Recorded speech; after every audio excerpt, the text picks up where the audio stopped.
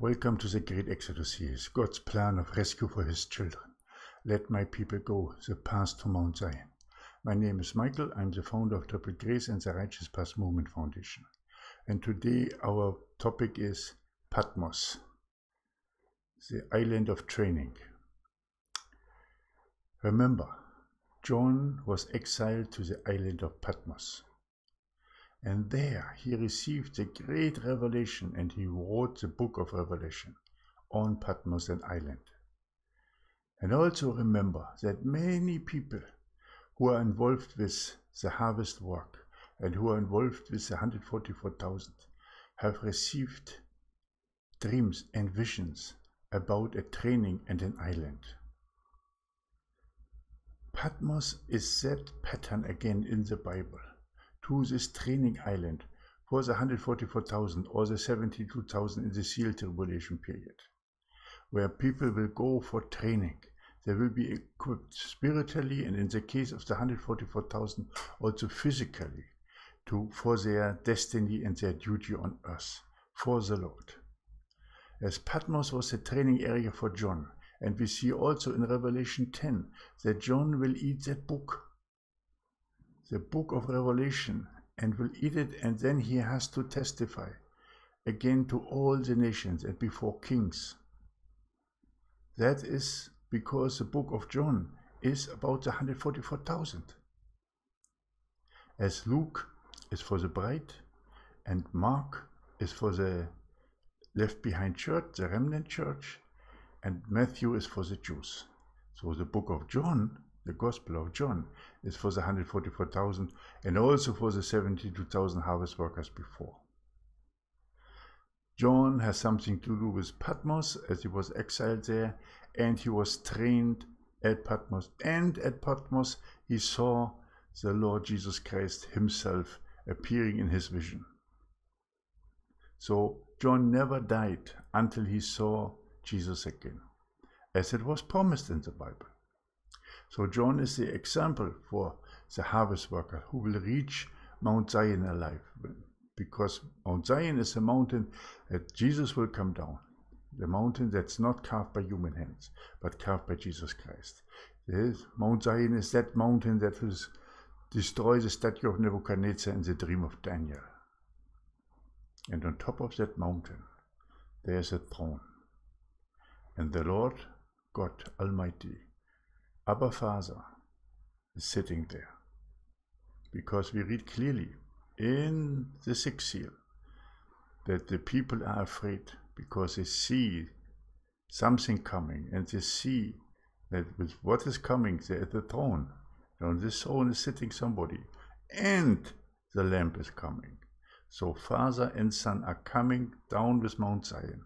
The clear pattern to Mount Sinai, a clear pattern to coming down when the merging takes place between heaven and earth. Now we are in Triple Grace are trying to get you prepared so that you can stand at that mountain and be raptured into paradise or sealed as 144,000. So walk with us that path to Mount Zion. Many people will not realize that this is absolute important if you're not part of the bride, and the bride will go very soon, and you are left behind, you better come to us and walk with us that path. Because we will bring you to Mount Zion, and we will establish the dwelling places of Zion in all the nations. And we will train the assemblies of Zion. And they will go forth into their neighborhoods, and they will gather the harvest of the ages. They will bring in the wheat into the barn of the Lord and when they have accomplished their task, and the multitude clothed in white is ready, then God will send his mighty angels to collect all of us from our dwelling places of Zion throughout the whole world and drop us at the base of Mount Zion. And there we will have access into paradise at the rapture.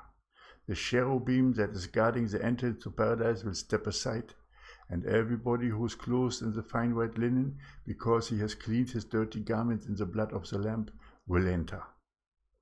And from that day forward, you will be with our Lord and Savior Jesus Christ and our Father, Jehovah Jireh, forever, eternity. How perfect will it be?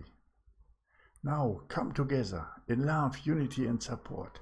Build the dwelling places of Zion.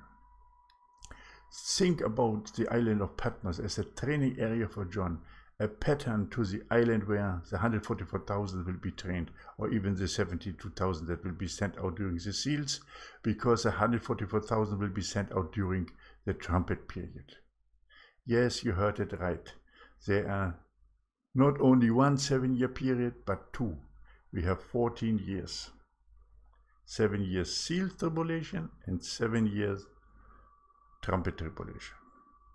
Actually, we have six years until the seals, then we have one year rest, and then we have the trumpet period, where we also have six years and one year rest, and then everything will come to conclusion. Because then our Lord and Savior will be stepped down on the Mount of Olives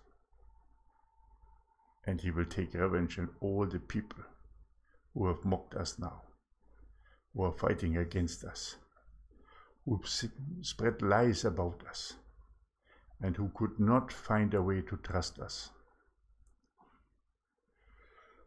But God is merciful, and we might find people in paradise that we are very surprised about, but that can happen because the ways of the Lord are not our ways. And our worldly ways are definitely not the ways of the Lord. So please come forward and step with me forward now onto the righteous path to Mount Zion. Establish a dwelling place of Zion in your neighborhood. If you do not know how, send me an email at triplegrace55 at gmail.com and I will tell you how. Gather the people together, build an assembly of Zion in that dwelling place. And then empower them through teaching, studies, preaching, and send them out into the neighborhood to bring in the harvest of the ages.